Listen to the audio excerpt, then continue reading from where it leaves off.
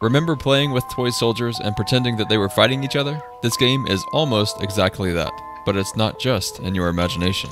Final Assault is a military RTS and castle defense hybrid played in VR. If you're thinking that sounds lame, well, I did too. It's easy to pick up, and I was having fun within the first 15 minutes. The goal is to destroy the enemy's base before they destroy yours. Move yourself by grabbing and pulling across the battlefield, which is limited to a small area and has dedicated lanes for moving units.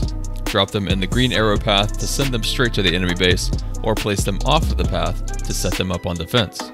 A near constant flow of infantry spawns and attacks automatically, but more advanced units such as troop carriers, tanks, artillery units, anti-air tanks, fighter planes, and bombers will need to be spawned and directed by you.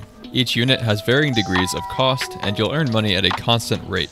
What's really cool is creating paths for units with your hands and even force units into an endless circle by connecting the end of your path to a previous point. There is multiplayer, single player, and several campaigns, and you can play as one of many commanders with unique capabilities.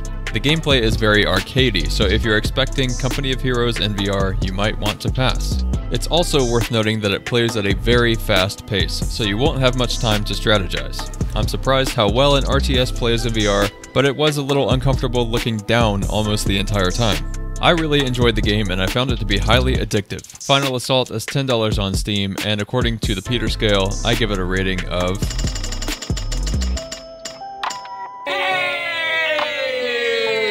Wow, I can't believe that you made it through the entire minute and a half. But since you're here, I just want to say thanks for watching, and if you liked this video and want to see more, you're welcome to subscribe. Thanks again, and peace.